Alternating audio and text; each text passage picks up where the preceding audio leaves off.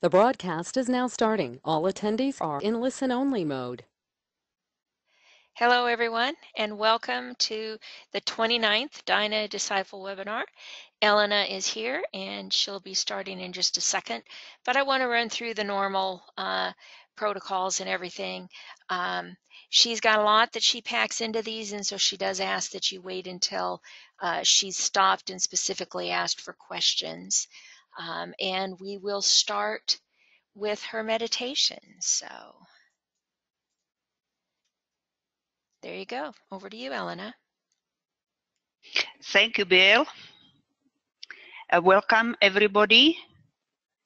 Um, and as usual, uh, before we start, we make a, a short alignment of the group field. So Withdraw your attention from the lower sense perceptions and achieve stillness in the three lower fields of the personality physical, emotional, mental. Then raise the consciousness into the head carry the consciousness upward through the astral body and the mind to the soul.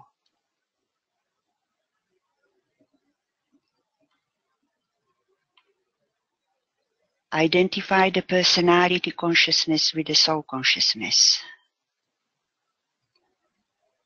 and realize that they are one.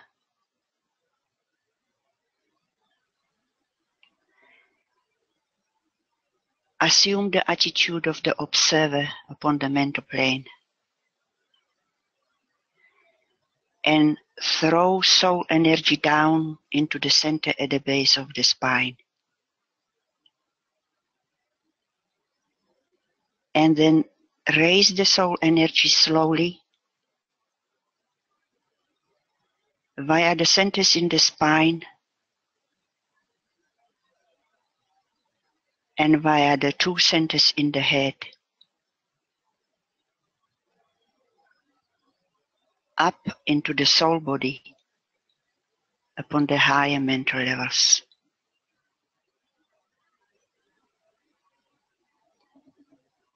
Recognize the personality is aligned with the soul, forming one unit and there is a fusion of the individual soul with the group soul. On the level of the soul on its own plane.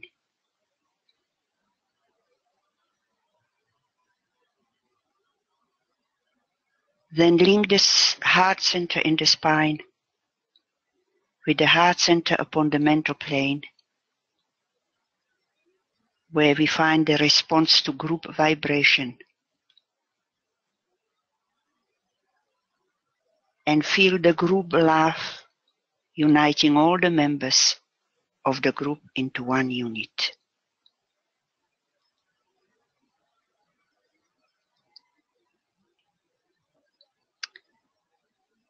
And we sound the Om together as a group.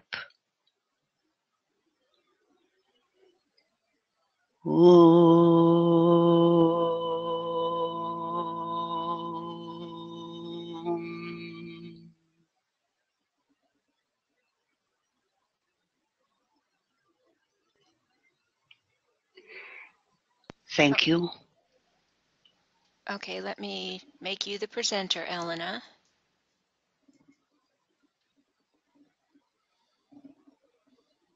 Okay, you should have show my screen now. There you go.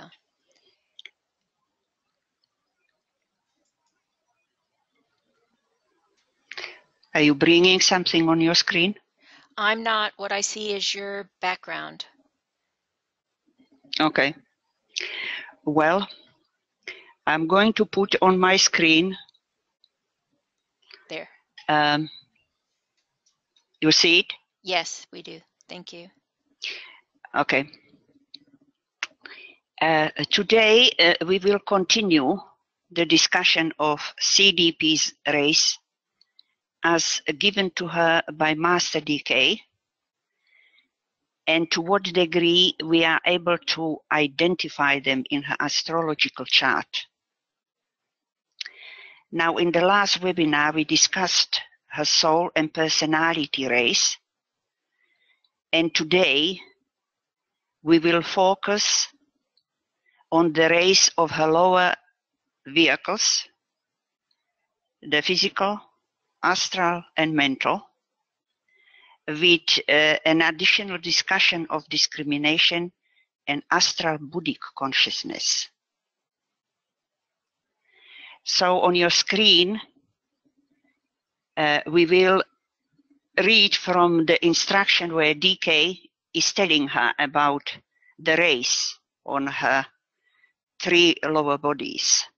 Just to refresh our memories, that he says your mental body is on the fifth ray, and therefore you have an intensely analytical mind. I would, however, remind you that you are analytical but not discriminating. Ponder on this distinction. Your astral body is governed by the sixth ray and is as yet largely subservient to the will of the personality. This leads you to devote yourself to your personality surroundings and to the conditions which karmically you have evoked. Your physical body is also on the sixth ray, which makes it, and therefore your brain, predominantly the servant of your astral body, but it also makes you intuitive or astral Buddhic. Therefore, I would have you note that in your case, there is an exception to the usual rule controlling the physical body. For very few physical bodies are on the sixth ray as is yours. And I will just read this that the soul ray is a second ray of love wisdom, the personality ray, the sixth ray of devotion, the ray of the mind, the fifth ray of concrete no science, uh, the ray of the astral body, the sixth ray of devotion, and the ray of the physical body, the sixth ray of devotion. We might just as well reach to the end it will be clear to you, therefore, that much of your problem can be summed up by the recognition of the relation existing between the personality, the astral body, and the physical body. The physical body and the astral body are, therefore, automatically the servants of the personality. Yet the relation between the sixth and second rays is so close that the problem of your soul is not insuperably separable in this life. Okay. Now, we start uh, with her mental body. I will put at this uh, point uh, her natal chart on the screen. Okay uh, as you as we have just read that uh, DK is telling her there that the fifth ray uh, mental body uh, gives her a very intense analytical mind, but uh, she is analytical but not discriminating. Now, this is very unusual because one of the qualities or strengths of the fifth ray is discrimination. Okay. Now, as we know, the mind is the high as highest aspect of the personality and acts as an integrating energy of the lower fields. Uh, what we do first uh, is to look at the presence of the fifth ray in her astrological chart And because we are dealing with the personality fields, we will consider the wheel turning clockwise. Uh, and in some cases, we also look at the reversed wheel. When we're talking about uh, the ordinary wheel or the wheel of the personality, it's turning clockwise in this direction. Okay? And we're starting it from her ascendant this way. And the reversed wheel, it will go anti-clockwise and it's the wheel of the soul consciousness. Okay? Uh, it's something which we have done uh, also uh, in the last webinar when we were dealing uh, with her soul and personality rays. Okay? Now the fifth ray triangle on the ordinary wheel uh, in a clockwise direction would start with Aquarius, Sagittarius, and Leo. This is the triangle of the fifth ray. Okay? Now the orthodox ruler of these signs are Uranus, uh, which is probably conditioned on its own level by the fifth ray on its mental body.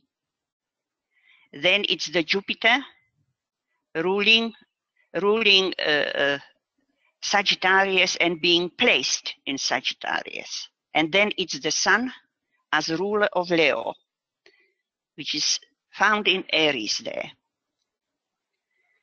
Uh, even though there is no apparent evidence of the fifth ray on any level of Jupiter, there is strong relation between the fifth and second rays, as we all know, uh, generally speaking even. And you know, the second ray uh, here is uh, uh, conditioning the Sun and Jupiter, okay? So, we found we find the Uranus in Sagittarian decanate of Leo, indicating a powerful fifth ray presence through involvement of two signs of the fifth ray triangle, and that is the Sagittarian decanate and Leo, the sign Leo, and uh, Uranus, which is very powerfully conditioned by the fifth ray. Uh, so this is, I think, the major focal point uh, of fifth ray energy in this triangle. Now, Sun is also found in Sagittarian decanate of Aries, okay, uh, and is the dispositor of that Uranus because it rules Leo, right? Um, and Leo is placed, uh, uh, and Uranus uh, uh, in Leo is placed on the cusp of the third house, where uh, the Leo is ruling that house, the third house. And as we have worked through the webinars, the retrograde Uranus have moved into the third house. But it's operating basically in both houses because it's very close uh, to the cusp of the third house. Okay? And we know that the third house, uh, you know, uh, is is dealing with the mental mental processes, the mental energy there. Now Uranus in Leo is in its detriment and indicates the lessening of the mind, which in this case is symbolized by Uranus. And it's increasing of the uh, soul use and control of the mind by the soul. Okay? Now, this indicates again the focus of her second ray soul uh, in the fifth ray mind. And if she could consciously utilize it, she would be able to balance and adjust the powerful sixth ray force uh, due to the close relation between the sixth and second rays as DK was telling her in the instruction which we just read. Now we see that Uranus is making a trine to that sun in Aries, right? Uh, and that's through this trine, we have a linking of the three and the nine houses indicating the lower and higher minds. Uh, and again, these are the uh, two rays, the two signs of the uh, fifth ray triangle. Okay. Now, DK is hinting that the middle decade of Leo is conditioned by Jupiter, the same planet as is ruling that Sagittarian decade. Okay.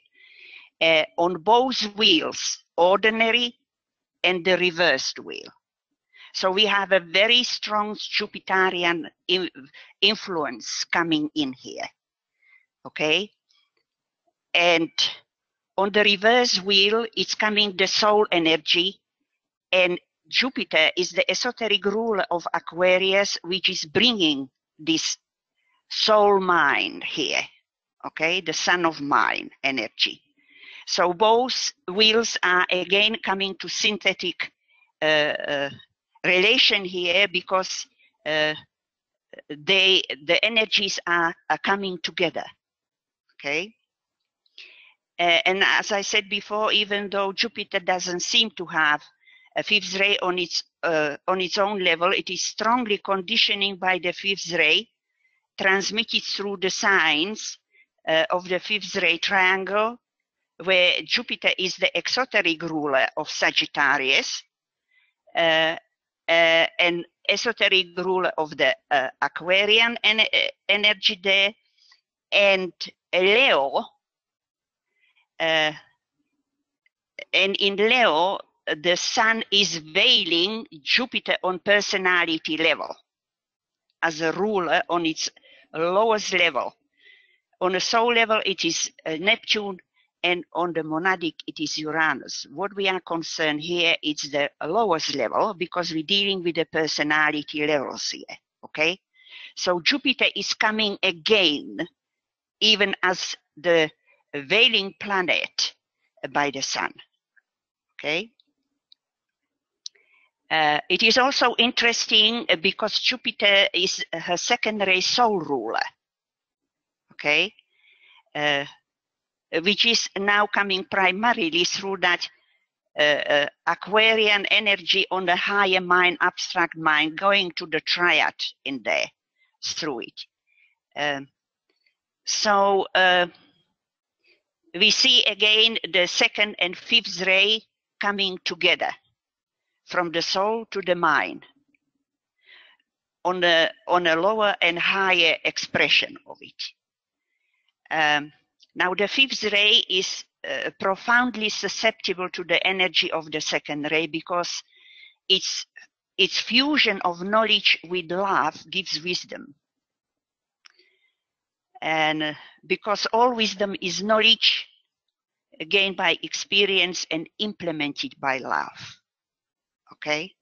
That's why primarily there is always this relation between, uh, between the fifth and second uh, uh, rays, even levels, planes, and so on. Uh, we know that she integrated the astral and mental bodies, which uh, brought the fifth ray mind increasingly into control of her sixth ray astral body, becoming the transmitter of illumination from the second ray soul. Because prior to that integration, it was the astral body which was primarily the controlling factor. Okay. Uh, for CDP, the release from the emotional forces and the powerful six ray force must be achieved through the soul control. And its instrument in this battle would be the consecrated discriminative mind. That's why it is um, it is important that she develops that discriminative uh, ability. Um, now, in the attainment of the control of the emotional nature and achievement of clear vision and right discernment through right discrimination, she will testify her fitness for the second initiation, which was just in front of her. Uh, this means shifting the level from the fourth mental subplane where we find discrimination into the third mental subplane where we find spiritual discernment, which goes beyond the personality discrimination and reveals the soul. Because discernment sees and detects more deeply than discrimination. Okay? Now, Bill, uh, if you can, um, Sure. if you can put, yeah, put up that chart for me that we uh, uh, briefly that people see what I uh, have just said here. There, you got it? No. Okay. Yeah, well, I see it. Uh, if people can see it here, not very probably.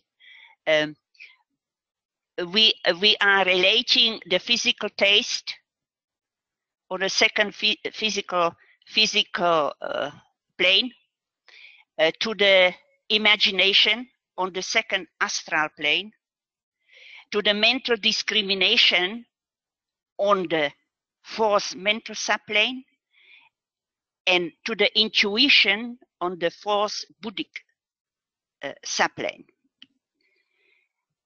Okay, that's it. I just wanted to people see that what we are basically dealing with the alignment of the uh, of the uh, uh, sense taste.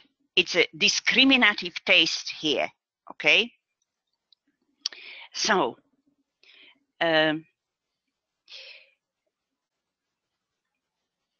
according to DK, the ruler of the first Cancer decanate on the reversed on the reversed wheel is Venus, conditioned on its soul level by the fifth ray representing the mind as the instrument of release from the form of personality.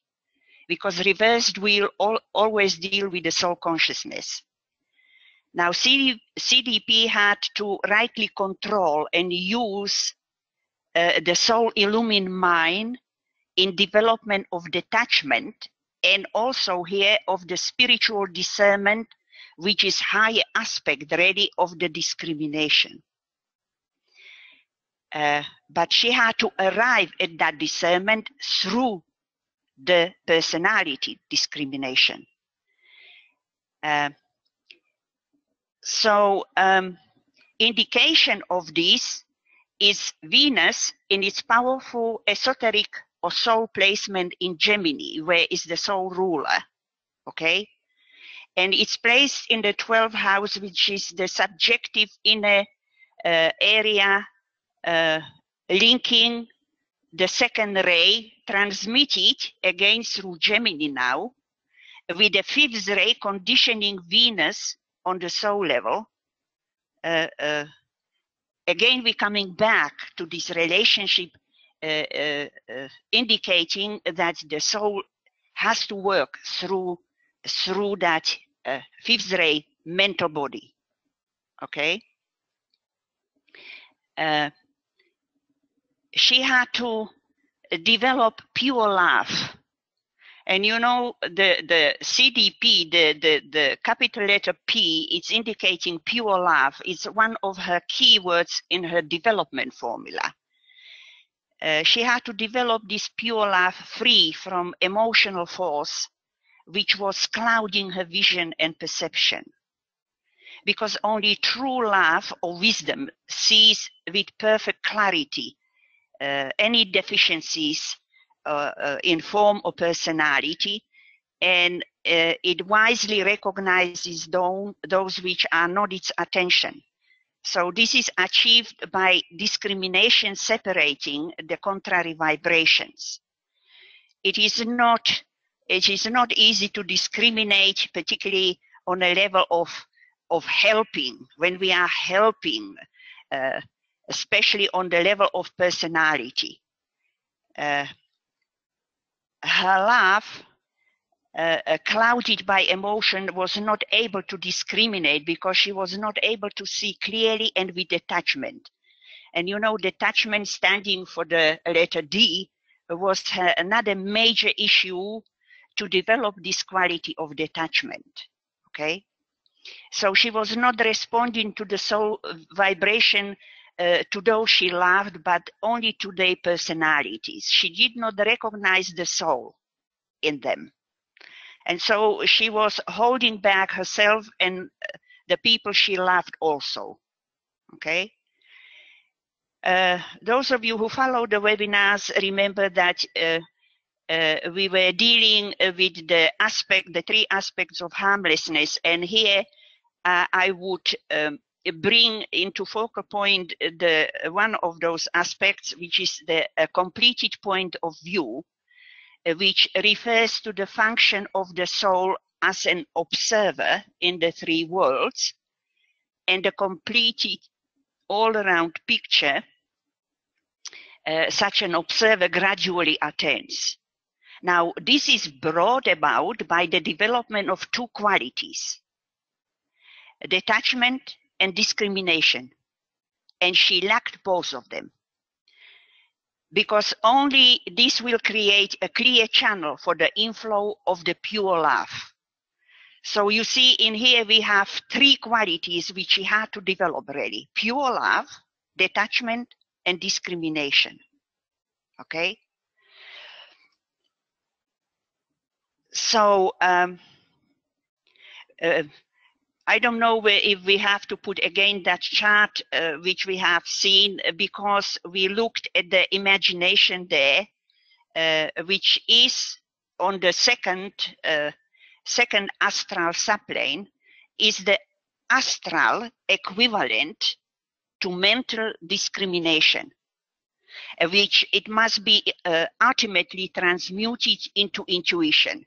That's why I wanted in that graph that you see, you know, this relationship between um, uh, between the imagination, discrimination, and intuition.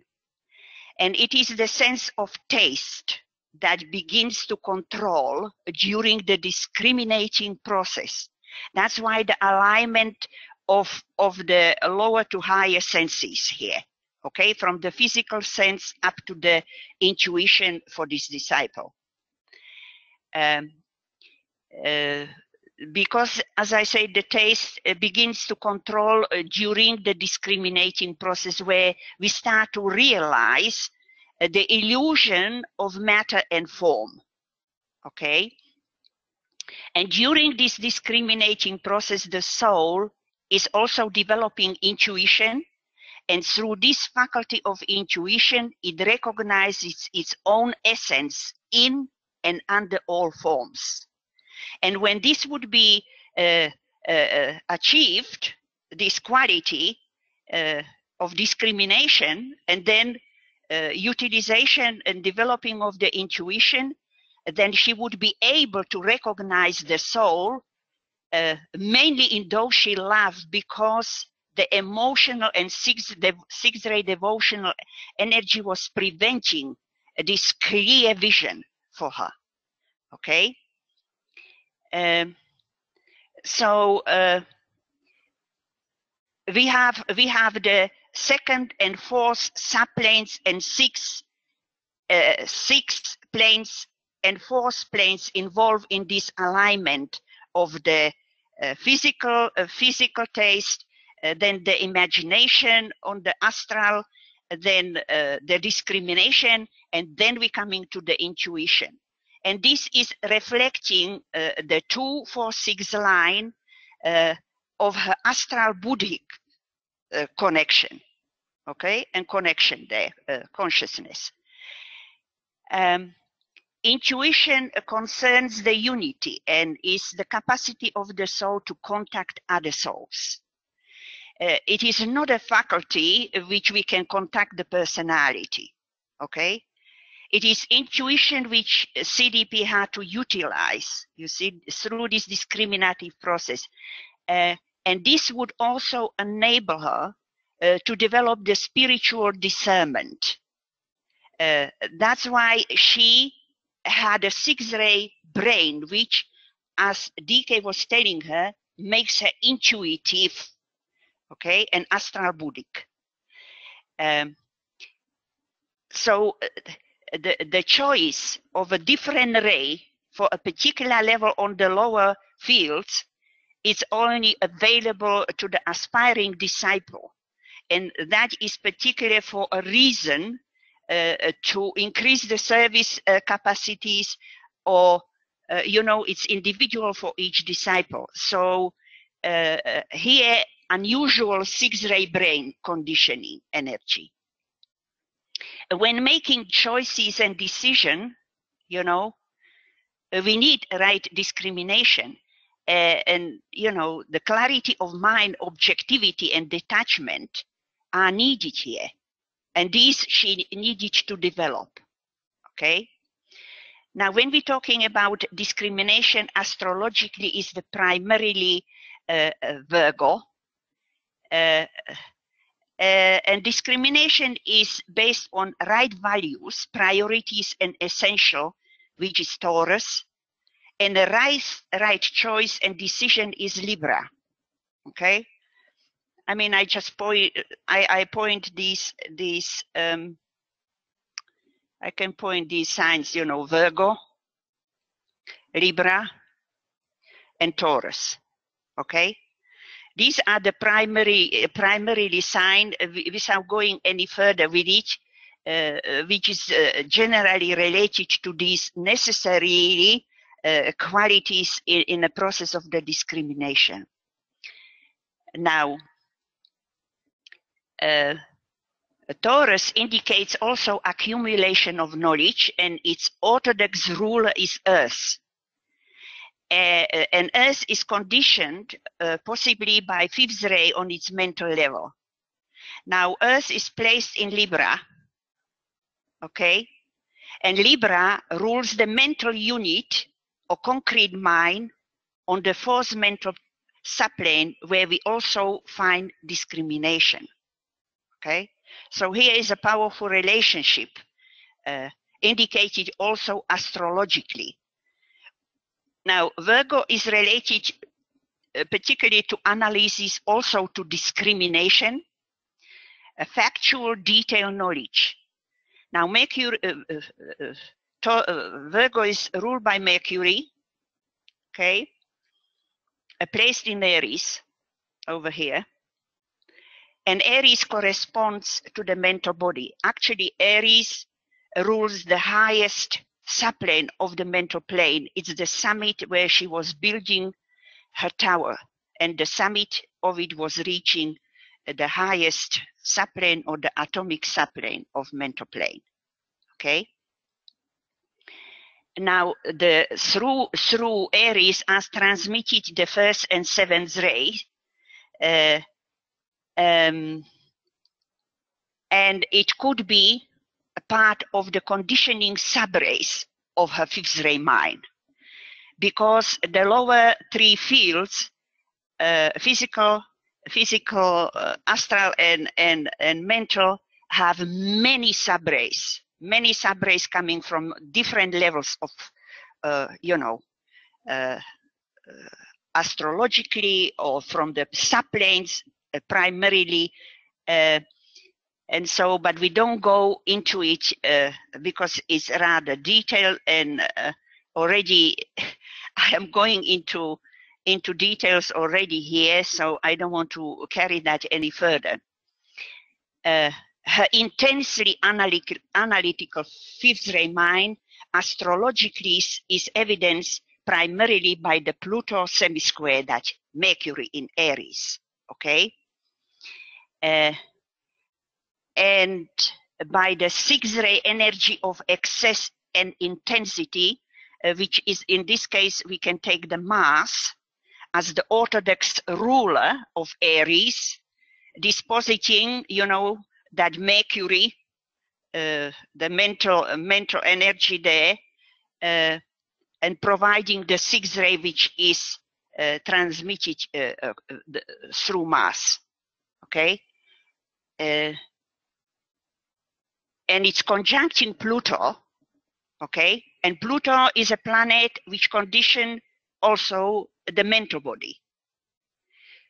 a very, very unusual that you know that the Pluto is also involved with the with the mental energy, uh, and it is also conditioning the astral body and and the solar plexus center, um, uh, bringing particularly, uh, you know, the first ray or on its personality level, but it's also conditioned by the fifth ray. Uh, I would say that uh, Mercury, Mars, and Pluto could be conditioned on by the fifth ray on their mental levels. The first ray personality of Pluto reflects the first ray transmitted through Aries and indicates a possible first ray subray on the mental body. Okay? Uh, her surrounding harmful thought forms were draining her vitality, DK was telling her, and were destructive not only to her but also to other people. Now, this indicates the first ray destructive will of Pluto on the mind, confirming possible first ray subray uh, on the mental body. Okay. Uh, we also note that the fifth ray triangle, uh, Aquarius, Sagittarius, and Leo, uh, is expressed through three mutable houses third, sixth, and ninth. Um, and you remember we were dealing with the mutable cross in relation to the second ray soul and sixth ray personality, which we discussed in the previous webinar.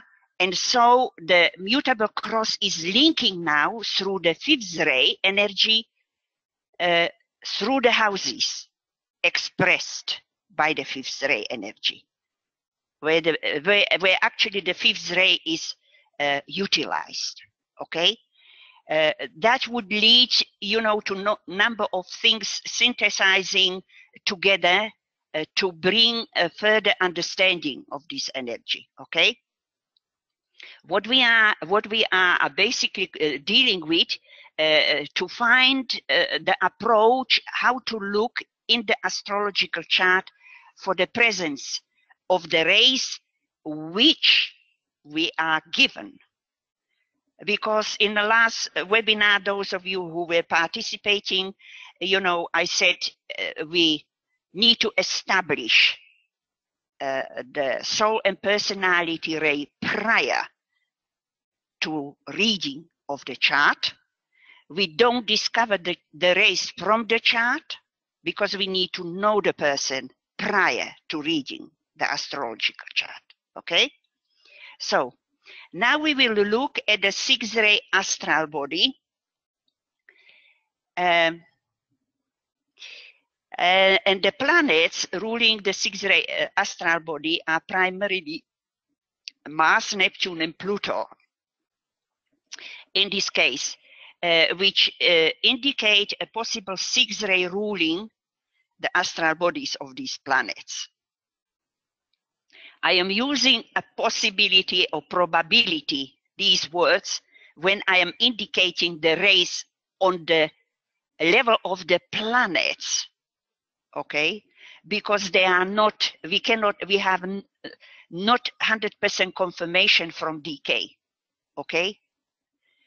Uh, this is uh, this is my uh, my hypothetical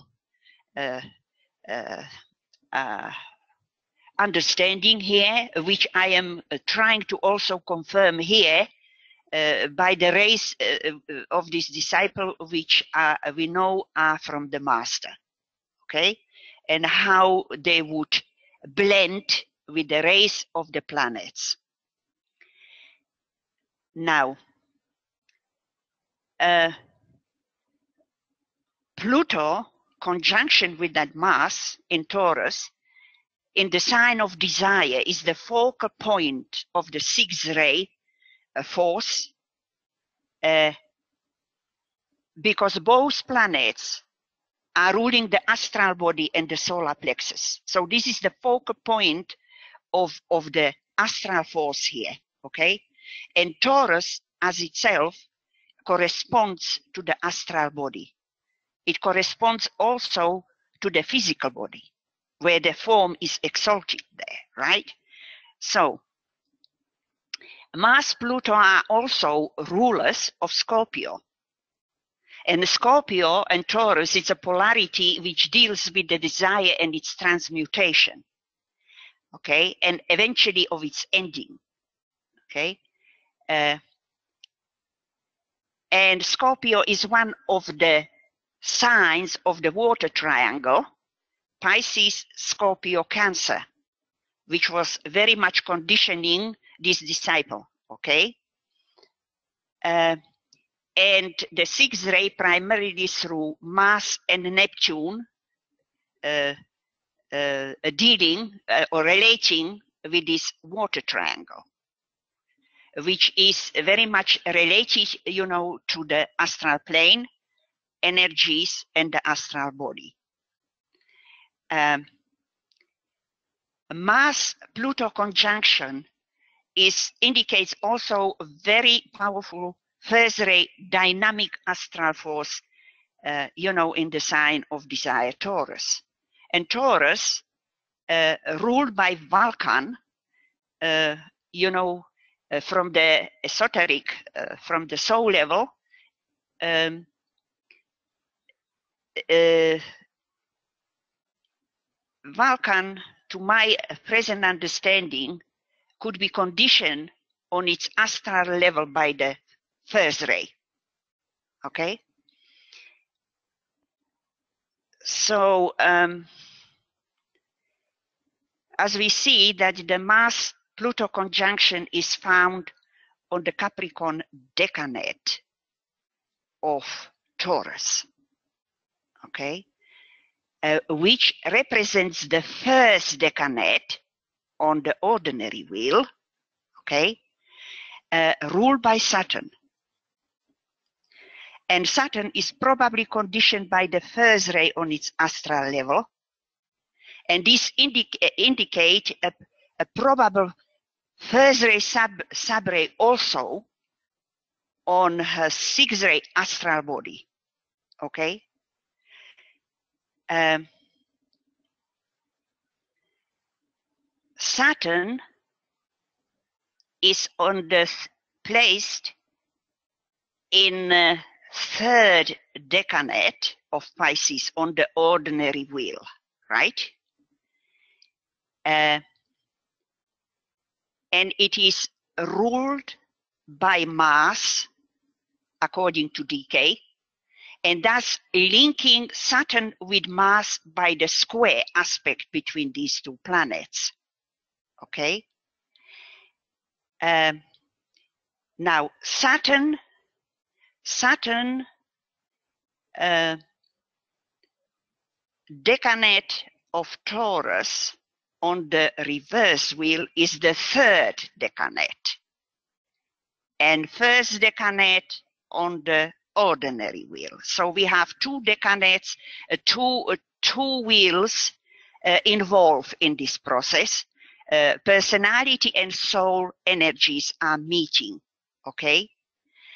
Uh, and Saturn in Pisces, you know, indicates the karma of emotional attachments which has to die within her pers personality. Because also Pisces is the last sign where it's a completion process. Okay, something has to be completed, always, generally speaking. Okay, so uh, the the synthesizing uh, uh, of B, both wheels it's this Mars square Saturn uh, aspect, basically. Um, Neptune and Saturn uh, sextile are in sextile, okay? And they are bringing together first ray through Saturn and sixth ray through Neptune as possible ray energies conditioning these two planets on the astral levels and indicates uh, their presence in the in her astral body.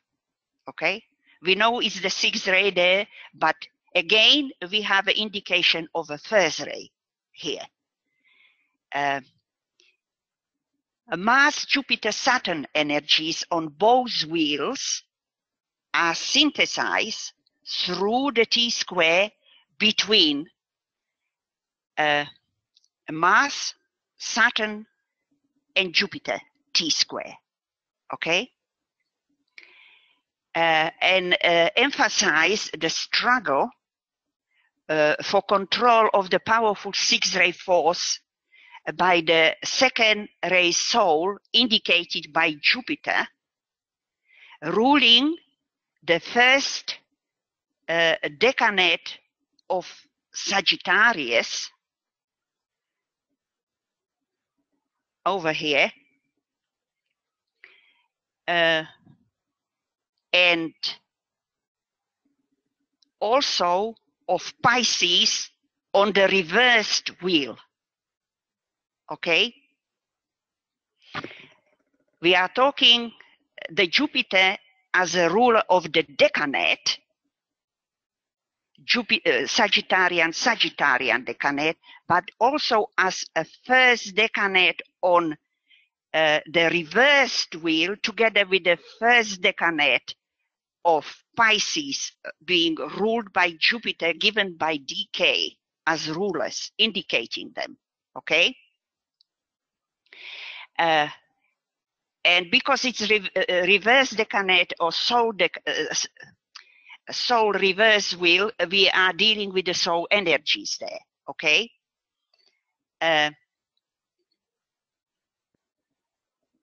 Now, the karmic conditions uh, which she evoked in her personality surroundings are primarily uh, based on, on the control of the astral body by the will of the six-ray personality.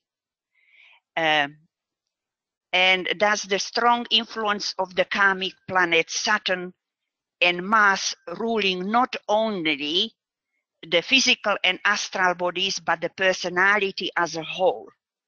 We can consider both planets, Mars and Saturn, uh, ruling uh, uh, the, the personality, okay, and also of the uh, physical body. Um, but the will aspect of the personality is provided primarily by Saturn with a first ray conditioning on its own level of personality. Okay, and this is the confirmation basically of it uh, that it could be uh, that ray uh, on ruling on the personality level of Saturn. Now, I will share with you something which I have so far haven't mentioned on any of the webinars, uh, but dealing now with these subrays here, um, you see uh, DK is hinting at the subrays uh, through his instruction to the disciples. But we need to we need to find them, notice them, and recognize them. Okay. Now, to my uh, understanding, he indicates probable first subray on her fifth ray mind, which we have already detected uh, through astrology, and possible first ray subray on her astral body. Okay. Um, and I'm going to put on your screen um, the uh, passage where he's telling her this. Your mind, as a result of the glamour, may be ever restless and shifting. But the glamour is the result of potent emotional thinking and of a prolonged attentiveness to the circumstances of your physical plane life. The same attentiveness and potency of thought directed away from your circumstances and to the things of the soul will free you. Now, this is a passage from DINA 1 509 from one of uh, uh, the instruction given to her. Okay. Now what we see here, I have highlighted these two, uh, which I would take as an indication of subrays on the astral body and mental body. Okay? Because he say your mind is a fifth ray mind. As a result of the glamour, is a sixth ray. Maybe ever restless and shifting is Mercury in Aries. But the glamour is the result of potent emotional thinking. Now here he is with a possible first ray subray on her astral body, he is bringing kama manas first, uh, linking the rays 1, 5, and 6. Okay? Because, because kama manas here would be ruled by Venus on its lowest expression of the mind. Okay? Uh, with the Venus Mars, a Venus Mars conjunction over here. Okay? Um, and Pluto semi-square to that Mercury in Aries is involved also. Okay? And Pluto conjunction to that Mars. The energies which we have already discussed. Okay? Um, and Mars Venus square which we can add now towards the Mars square Saturn. Now we deal with Venus, uh, uh, you know, uh, in relation to, to the Kama Manasic mind, going to, to the higher level of the soul mind there, okay? Um, and with the Saturn, conditioned by the first ray on its astral body. Um, now on on the ordinary wheel, the first decanate of, of Taurus, where we find the Mars, is ruled by Saturn. Also by Saturn, uh, uh just uh, uh, dealing with the decanate of Taurus. Okay.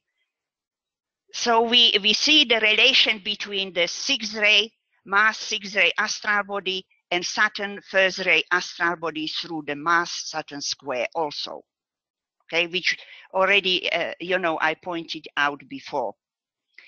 And a prolonged attentiveness is uh, on a personality uh, level of the sixth ray transmitted through Sagittarian energy waves, the one pointed direction to the circumstances of a physical plane la, uh, uh, life, it's the Mars, involvement of Mars there, okay? Uh, which is also the uh, you know ruling the six ray physical body and and the physical physical plane. Now, when he says the same attentiveness, the same, I should you know bring this again. The same attentiveness. Uh, you know the attentiveness. Now he is shifting the energy with this sentence, you know, going from the lower to the higher energy here, where the inner attentiveness has to be to the voice of her soul, and potency of thought is the probable first ray subray of the fifth ray mind, directed away from your circumstances and to the things of the soul will free you. So the Venus fifth ray as a son of mine is coming uh, in its placement, uh, esoteric or soul placement in Gemini. Here, okay, conjunct Mars in Taurus, uh, which is conditioned by the first ray, first ray on its soul level, Mars, okay, where the freedom from the attachment to the desire of the form life would come through the first ray of Vulcan, which is most probably placed in Aries, okay, but now on a soul level of the Vulcan energy, okay, uh, because it's the esoteric ruler of Taurus. And uh, as I mentioned, I think before, possibly uh, first ray or fifth ray, uh, uh, Vulcan could be con conditioned also on mental levels.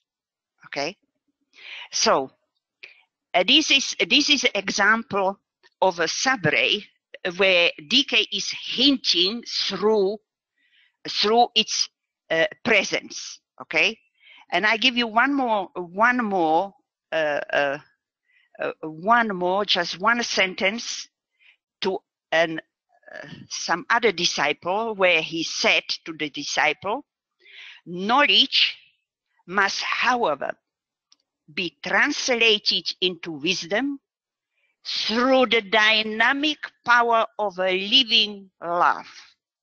Now, this is a classic for me, first ray, sub ray, for that disciple. Okay. I can't, uh, I can't tell you on which of the bodies was that first ray because I haven't uh, worked in detail with this disciple. Uh, but neither neither CDP or this disciple had any first ray conditioning on any of the uh, ray of, of the like physical, astral, mental, personality or soul. There were no first rays. Okay, so in this way, uh, I, I, thought I will bring this uh, idea to your attention that when you read the instructions he is giving to the disciples, he is indicating the subrays.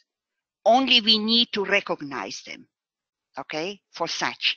And as we are going through the through the astrology, we also see it see these rays subrays astrologically.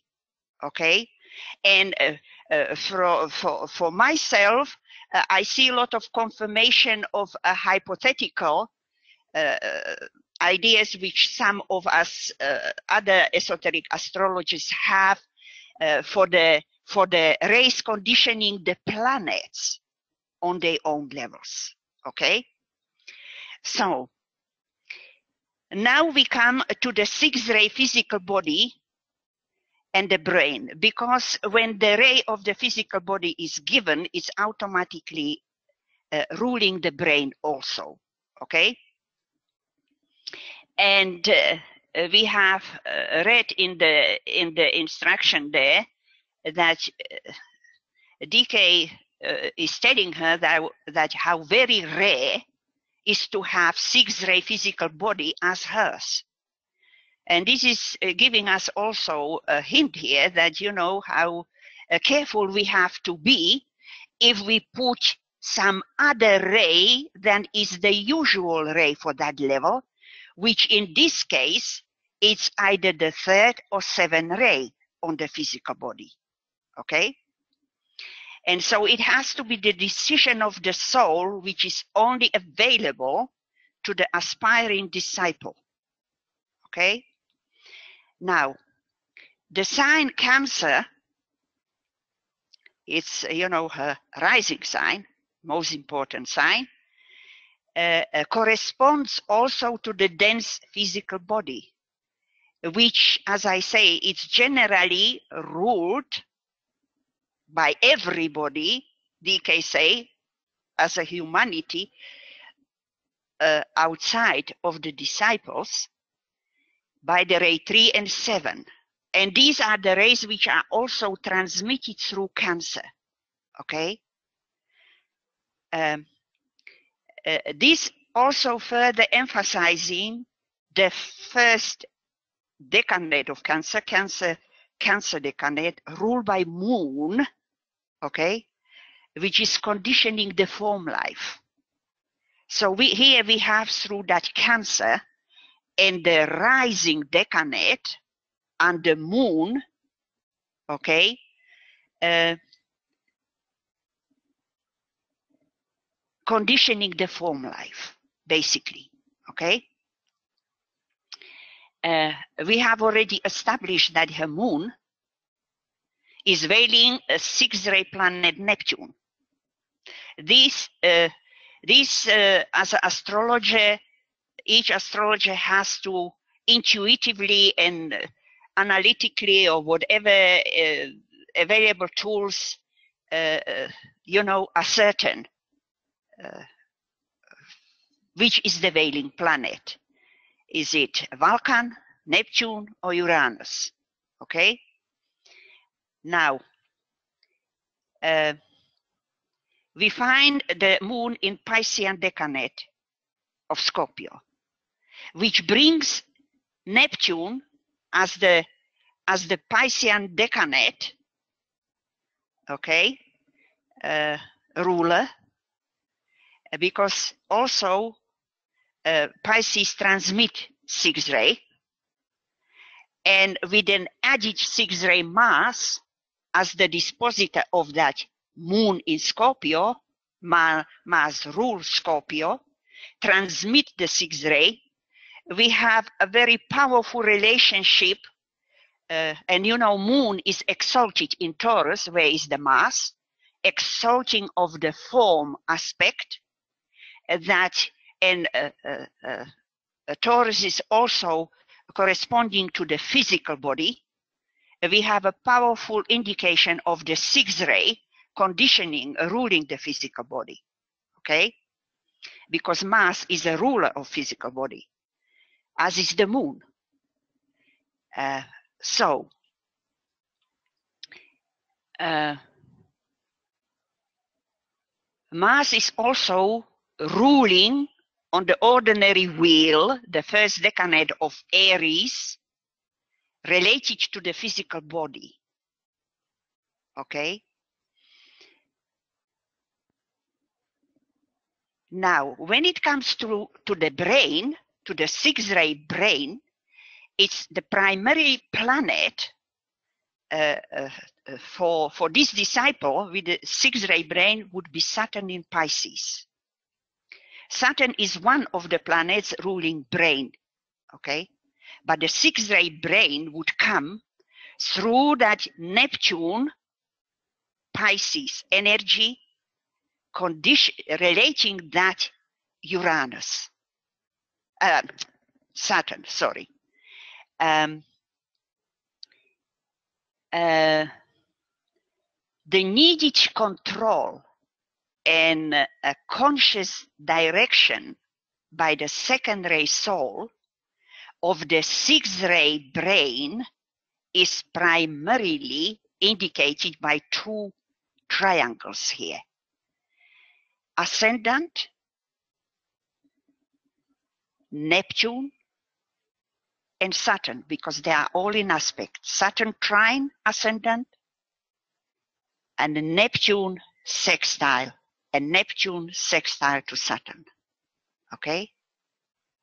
And then the other one is Neptune, Saturn, Jupiter.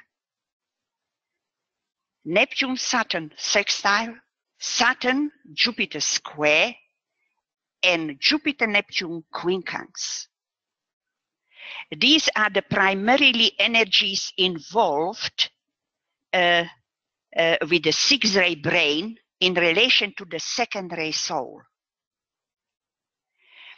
When we are talking about uh, physical brain, we need to consider the three physical glands in the head. Okay? which is the pineal, pituitary, and carotid glands. And the focal point of utilization for CDP was the pituitary body and its externalized etheric ajna center, which are both conditioned by the sixth ray. And, you know, both are related uh, to the Second ray, primarily the pituitary body and the heart center. And in building of her garden upon the mental plane, she utilized the art of visualization and imagination uh, with the aim to focus attention in the region of the ajna center of the pituitary body. Okay? We see another reason why the six ray brain was needed for this disciple. Okay?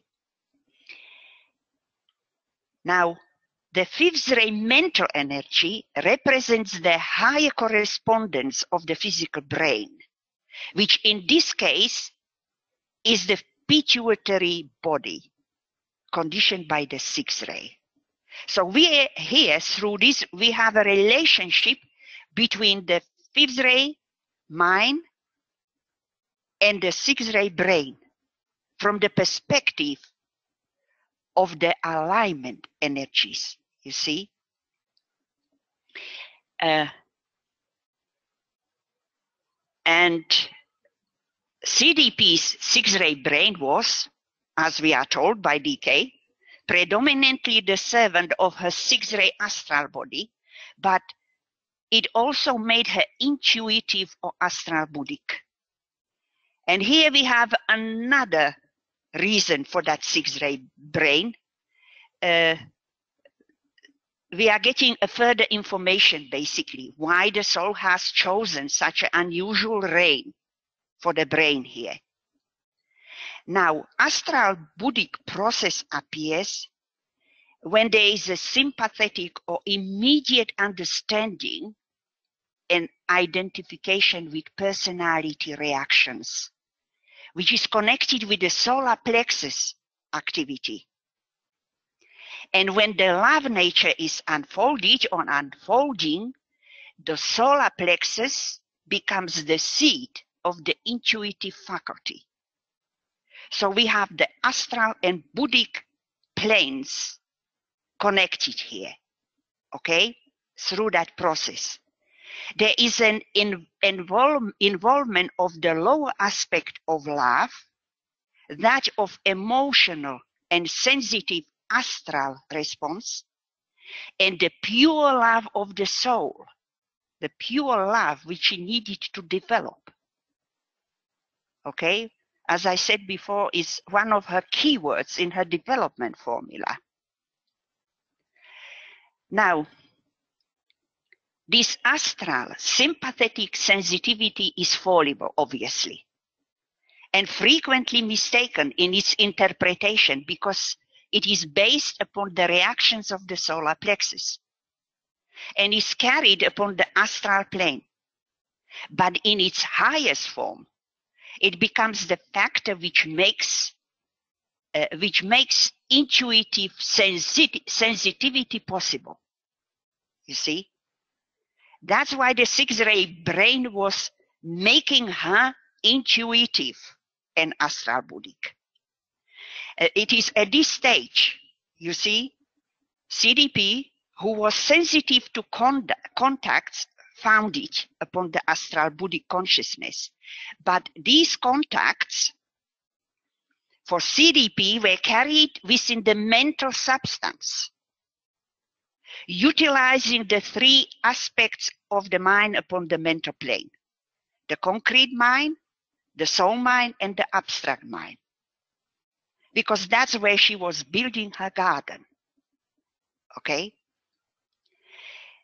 Uh, this involved on the physical plane also the activity of the pituitary body as an expression of that energy and also the use of the Ajna Center as the organ of visualization and organization of the process of that building there. Now we see that the, she has a, a very difficult equipment uh, from the perspective of the rays here. She's predominantly under six ray force within 246 line emphasis. Only the fifth ray mind is linking her to the 1357 line. And the second ray soul is the only ray of aspect. The higher rays 1, 2, 3. And the rays 5 and 6 are the rays of attribute, the lesser. We co consider them the minor uh, ray energies, uh, uh, conditioning her on four levels of her personality. Basically emphasizing even stronger the personality focus of these energies, okay? Now, where all lines of influence are related and similar, like in this case, there is always a tendency to negativity and a failure to assume a positive attitude, particularly towards the soul. That's why DK was constantly strengthening her confidence and assuring her she didn't fail because she always thought she was failing. She was not good enough. Okay? And the positive impulse is used by the six ray brain, which is sensitive to the Buddhic plane. What she also what she also needs is more of a positive vibration of the first ray line of energy, which the fifth ray mind opens her the door. So she needs to utilize the will aspect of love through her fifth ray mind. And we have detected the astrological indication as we have already looked at the first ray as a possible subray of her fifth ray mind. Okay? It must mm. be the power of love or love powerfully applied to evoke right conditions in her circumstances and physical environment. And we are told in only in the stress of circumstances can the full power of the soul can be evoked.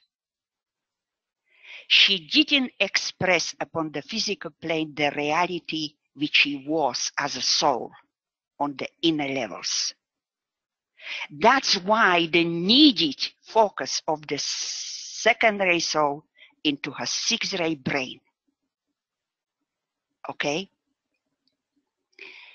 She made a transition from the in the light, where she developed will to love, and entered accepted discipleship in that life, where she needs to now develop the power to love. Completely different level of the expression of that love.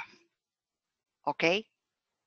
This power of love would facilitate the focus of the second ray soul via the fifth ray mind into the sixth ray brain, indicating the process of the soul mind brain alignment, which is basically going on from the first to the third initiation primarily. Okay?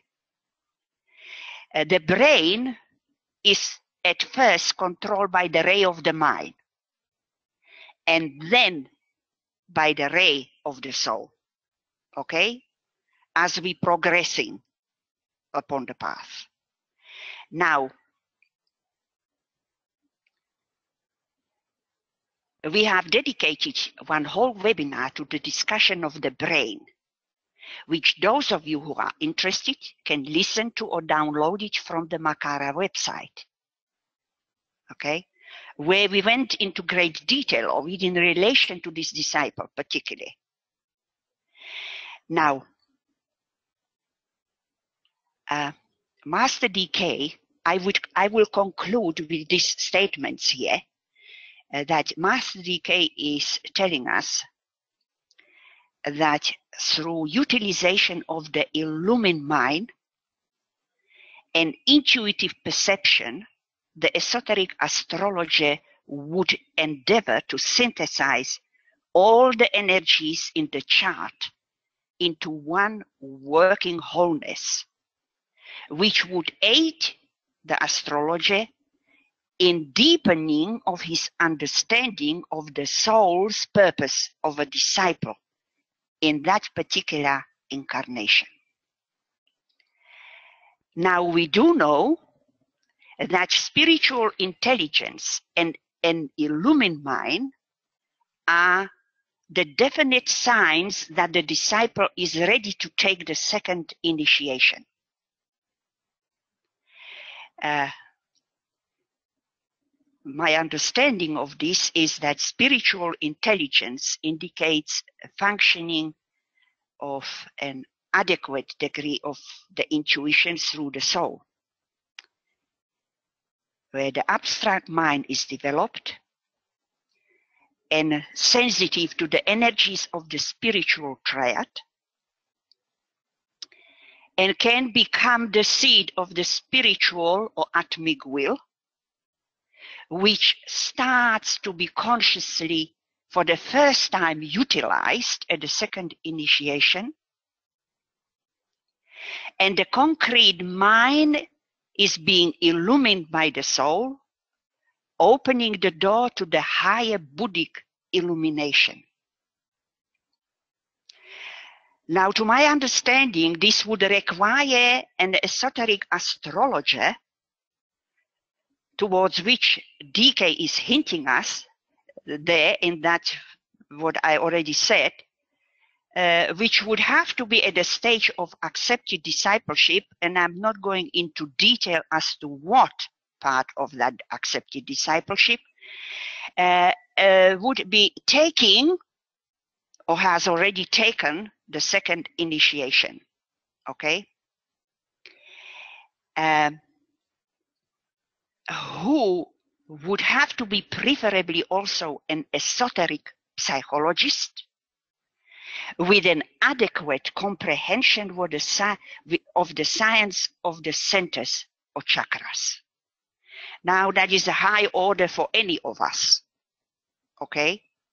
What would be uh, required to actually synthesize the whole psychological ray energies with astrological energies, not only of the signs, but the rays of the planets.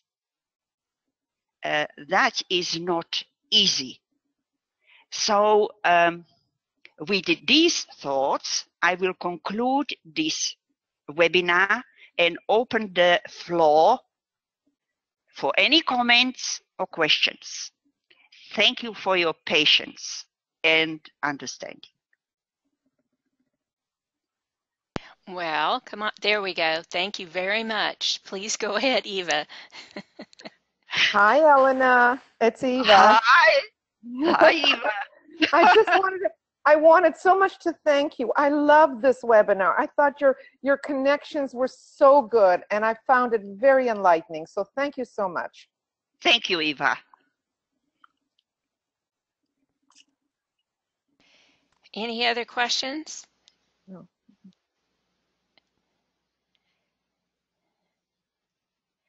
Okay, thank you. Go ahead, please, Michael. Hello, Elena. Hello, Michael. You have done such a marvelous job in analyzing this particular disciple. I'm curious as to how the other disciples may um, confirm all these different aspects and, and things that you've been able to to uh, bring out from this particular one. You know what you're asking? A tall order. It's not a job for one person. it sounds like a group effort. well, uh, you know, uh, uh, one would need to really uh, go through all the instructions to all those disciples, select you know, uh, go uh, with a particular topic, you know, with a particular aspect, and they are all different for each disciple. Uh, for example, there was an, one another disciple who had a six-ray brain, Mhm. okay, which I haven't worked yet on that disciple, but he also uh, has problem with discrimination. Okay. Interesting. but from completely different reason from this disciple Uh huh. okay where here the sixth ray was more on the devotional side of energy in his case was the group idealism problem Okay. Okay. okay so you know it's not uh, you know we we can find similarities on some aspects but we find a lot of differences okay A, a tremendous amount of variables. yes yes and uh, you know it's a lifetime job well, yeah. Uh, but but it, it's the best learning process for all of us And it, I, I can see how it can also confirm the hypotheses that uh, that we're bringing out. yes yes well it was it was a new experience for me too So mar- marvelous. I appreciate all the the. Uh, it must be hundreds of hours of work for each webinar. You know. well, you know, I don't know if it's hundred, but it's many, many hours of preparation and research. You know, Uh, well, all of us, I'm sure, appreciate the the effort and uh, the presentation and the little bit that we can retain. You know.